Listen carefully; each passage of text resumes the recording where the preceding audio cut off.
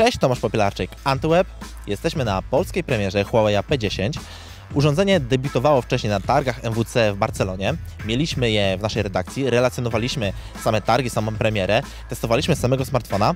Teraz chcemy zobaczyć, co ma do powiedzenia Huawei na temat swojego nowego urządzenia e, podczas imprezy, a także co o nim sądzą zebrani goście. Każda z oficjalnych premier sprzętu Huawei to zawsze wydarzenie, które warto odwiedzić. Nie inaczej było w przypadku modelu P10. Tym razem wylądowaliśmy na Żoliborzu, a dokładnie w Centrum Sztuki Fort Sokolnickiego, gdzie oprócz przedstawicieli Huawei mogliśmy spotkać ambasadora marki Roberta Lewandowskiego. Odbył się nawet szybki konkurs, w którym do wygrania była krótka sesja zdjęciowa z piłkarzem, gdzie za obiektywem stanął profesjonalny fotograf. Na konferencji przedstawiono nowe modele telefonów, zaprezentowano również zegarki, a wszystkie te sprzęty można było przetestować na miejscu w specjalnie przygotowanych strefach. Sam Huawei P10 wygląda na godnego następcę świetnie przyjętego modelu P9. Testowaliśmy już ten sprzęt i nie dziwię się, że firma stawia na mobilną fotografię. Leica dostarczyła bardzo dobre obiektywy i jestem bardzo ciekawy, co będą potrafili zrobić z nimi użytkownicy. To jest nasz flagowiec fotograficzny. Huawei P10 zaprojektowaliśmy z myślą o pasjonatach fotografii mobilnej. E, kontynuujemy naszą współpracę z firmą Leica. W zeszłym roku Huawei P9, w tym roku Huawei P10 i P10 Plus. Jesteśmy przekonani, że amatorzy fotografii mobilnej docenią kolejny krok, który wykonaliśmy razem z firmą Leica. No i tą fotografię portretową, którą w tym roku stawiamy sobie jako główny cel, aby nauczyć Polaków, jak robić fajne zdjęcia portretowe. Prowadzacie też bardzo fajne dwa zegarki. Kiedy i, i, i w jakich cenach można się ich spodziewać na polskich półkach sklepowych? Myślę, że y, wiosna to jest ten czas, kiedy one się u nas pojawią, realnie kwiecień. Jeżeli chodzi o cenę, to jeszcze chciałbym zachować rąbek tajemnicy e, i go nie ujawniać, e, ale myślę, że będzie to zbliżony pułap, który poznali polscy użytkownicy, kiedy wprowadzaliśmy pierwszą odsłonę Huawei Watcha. E, myślę, że Polacy wybierają produkty, które są z jednej strony bardzo dobre jakościowo, oferują coś więcej niż tylko podstawowe funkcje, dobrze wyglądają, są wykonane z dobrych materiałów i last but not least nie kosztują majątku. Nasze urządzenia nie są najtańsze, ale plasują się w takiej półce, która pozwala znaleźć fajny balans między zaawansowaną technologią a korzystną, e, korzystną ceną wprowadzenie smartfona Huawei P10 e, wspieramy szeroko zakrojoną kampanią marketingową. Naszym ambasadorem jest w dalszym ciągu Robert Lewandowski, który sam już po raz e, pierwszy wypróbował e, Huawei P10 tydzień temu i od tej pory nie może się rozstać z naszym smartfonem. Kampania rozpoczyna się 1 kwietnia i tak jak wspomniałem, będziemy uczyć Polaków, jak robić doskonałe zdjęcia portretowe.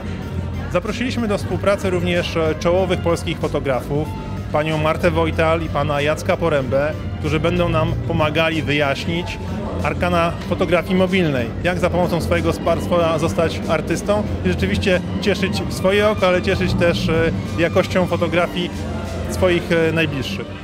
Na scenie pojawił się jazzowy zespół Wojtek Mazolewski Quintet, który umilał imprezę, a ja wraz z Tomkiem załapałem się na trójwymiarowe zdjęcie.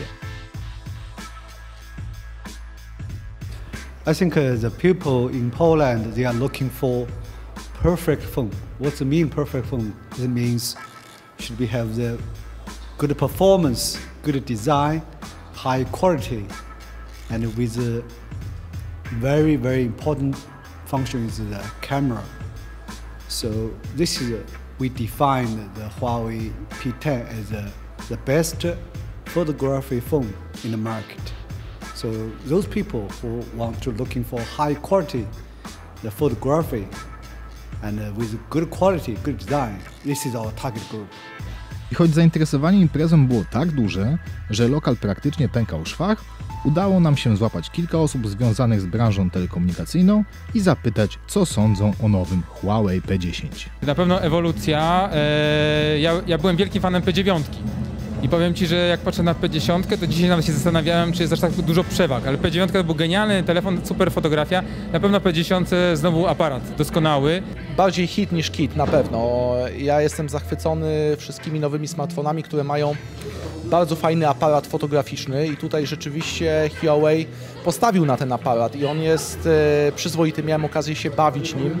E, to jest naprawdę dobry, dobry kawałek telefonu. Po drugie, co jest myślę istotne, no to bateria. E, tu rzeczywiście jest postęp, bo każdy, kto ma smartfona wie, że im większa bateria, tym jest lepiej. E, nowe kolory, też myślę, że przykują uwagę co niektórych. E, Myślę także, że jakby nowocze, nowoczesność tego telefonu, mam na myśli tutaj możliwość na przykład korzystania z czterech anten i agregowania pasma, co w e, połączeniu w tym, że na przykład my w Orange Polska już e, staramy się iść w kierunku 5G i e, ta agregacja pasma jest coraz powszechniejsza, więc myślę, że tutaj jest szansa, żeby ten telefon także dużo, dużo szybciej korzystał z internetu. Także podsumowując, myślę, że jest szansa na to, żeby ten telefon zawojował rynek, natomiast nie ukrywajmy, każdy smartfon flagowy to jest jednak duży wydatek. E, To nie jest tani telefon, więc e, na pewno nie będzie powszechny.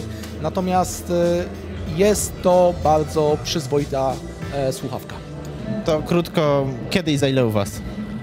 E, U nas już ruszyła przedsprzedaż, e, która się, rozumiem, kończy jutro, bo jutro jest oficjalna sprzedaż. To nie jest tani telefon, e, to jest telefon z tych droższych, aczkolwiek tutaj też Huawei ma tą przewagę, że zawsze ten telefon jest ciupkę tańszy od konkurencji, to jest fajna sprawa. Na pewno napędzi robotę dla modeli niższych. U nas się świetnie sprzedaje P8 Lite, coraz lepiej sprzedaje się P9 Lite, no i czekam na P10 Lite, który też podejrzewam, idąc tym samym tropem, będzie się sprzedawał bardzo dobrze. Już można było w przedsprzedaży zapisywać się. My zaczniemy oczywiście dostarczać jak najszybciej ten telefon. E, po, jesteśmy po premierze, więc, e, więc tak naprawdę już niedługo pierwsi klienci będą mogli z tego telefonu korzystać. No ceny, ceny zależą oczywiście od tego, e, co wybierzemy, jaki model, e, z jakim abonamentem. E, W systemie ratalnym myślę, że e, nie będzie to najtańszy telefon, ale też na pewno nie będzie najdroższy.